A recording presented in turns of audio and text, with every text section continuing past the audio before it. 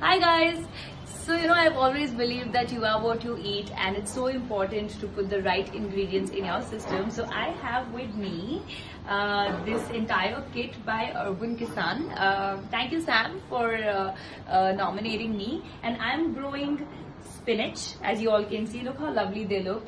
Uh, there's coriander here, there's some amaranth, basil, and look this side. There's so many. So I have five different varieties and I'm super duper excited for these plants to grow and then for me to consume. Hi guys. So you know I've always believed that you are what you eat and it's so important to put the right ingredients in your system. So I have with me uh, this entire kit by Urban Kisan. Uh, thank you Sam for uh, uh nominating me and I'm growing spinach as you all can see. Look how lovely they look. Uh, there's coriander here, there's some amaranth, basil, and look this side, there's so many. So I have five different varieties and I'm super duper excited for these plants to grow and then for me to consume.